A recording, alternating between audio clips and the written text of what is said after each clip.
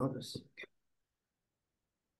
Hello, everyone. Welcome to this new webinar. We're here with Ruby Powers from Powers Law Group, and we're going to talk about President Biden's new actions to promote family unity. So Ruby, she's a board certified immigration and nationality attorney. She has been licensed since 2008, so a little bit more than 15 years, and she founded the firm in November of 2009. So Ruby, the word is yours. Thank you, Maria. So this is really exciting because this program was announced on uh, June 18th, 2024, so not too long ago. And it got, we'd sort of heard rumors that something like this was going to happen, but you never know until it happens. Um, and so they announced it in mid June, and basically a lot of their qualifications had to have been met by the day before, June 17th, 2024. And so the point of this is to promote family unity. And the, the idea is that it's going to impact maybe half a million spouses to US citizens and about 50,000 stepchildren. And so uh, basically what they're going to do is on a case-by-case basis, they're going to uh, um, review a parole in place from certain non-citizen spouses who've been in the US for at least a decade. So 10 years as of June 17, 2024. And if granted, they can apply um, the idea is that you, with that parole, you would have um, something that would be a tool for you to apply for legal permanent residency if you all else thing you have all meet all the other qualifications. So it doesn't actually mean an automatic green card. No, no, no, that's not what it means. But it can provide a work authorization um, and states that need status to have a driver's license, like Texas, that can give you to uh, provide you a path to driver's license, etc. So we are doing an updated video because and webinar because they gave out more details and said now the applications are going to be accepted starting August 19th, which is not too far away. Um, August 19th, it is a Monday, 2024. Um, so you can't submit before, that's the earliest. And um, we are waiting for the Federal Register as of this um, this recording. We're waiting for the register to come out with more details. So let's go back and talk about the key uh, requirements, right? So you had to have been in the US without admission or parole. Um, you also have to have continuously be present in the US for at least a 10 years as of June 17, 2024.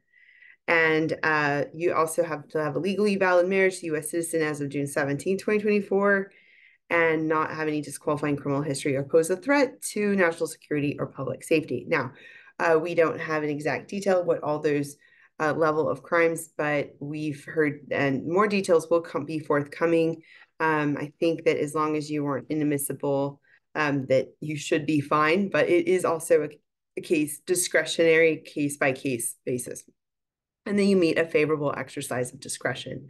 The other great thing is that this can be for stepchildren as well, who uh, might not have been eligible some other way, um, and who um, can, this will provide them an opportunity to have that legal parole as well. Uh, they estimate about 50,000 stepchildren that could be qualified.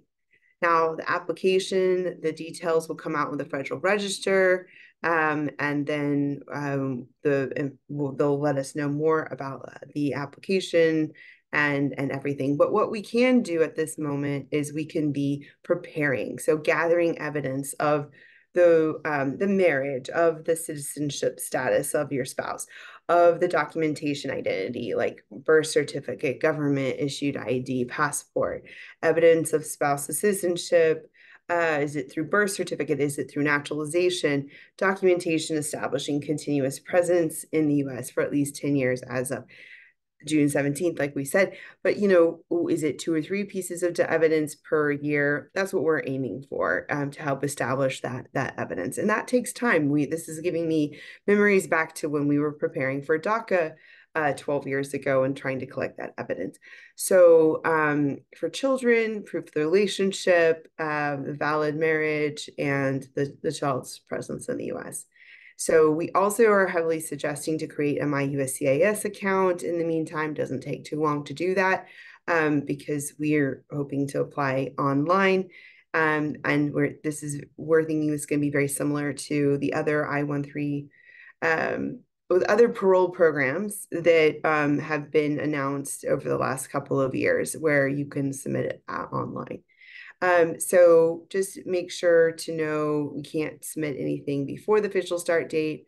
Um, we are um, we are actually starting to um, st to take cases to get ready since we're only a couple of weeks away, um, and we are giving a lot of information to the um, prospective clients and, and those um, about like what could possibly happen with possible litigation, um, that things could be um, stopped uh, somewhere along the way. So, you know, we're we're trying to explain all of that as we as we move forward, but we also want to be ready so we can be ready to apply as soon as possible, as soon as the the gates open on August 19, 2024. Um, so be aware of um, the of, of potential scams and be cognizant of like who's you know who you might hire or who you're talking to about this process. I know that this is great. It sounds hard. Um, what we're doing right now is screening um, giving homework to people to collect. And if they want to hire us already we're going to um, get started and um, but this is just want to get this information out there so the other thing that's important to note is that the parole doesn't solve everything, but it can give you an opportunity for a pathway to legal permanent residency. Uh, we still have to screen for other what they call inadmissibilities or blemishes or issues that could keep you from legal permanent residency, like a permanent bar, for example. Also, if you were in immigration court, there that's a little more complicated. Um, so we need to evaluate your case and see if there's a way to do a motion to reopen. Um, but there's a lot of movement going on right now, a lot of excitement. So I would say have a consult evaluate your case and get prepared. Um, and the more information we have when we evaluate or whoever evaluates your case, the better. So um, thanks so much for watching. We, you can find us so many different ways from TikTok to Instagram to, to X to Facebook. And we do have a newsletter in English and Spanish every other week. You can reach us at 713-589-2085. And, and we have a team of multiple attorneys that can help assist you. Um, so August is going to be a nice and hot month over here in Houston.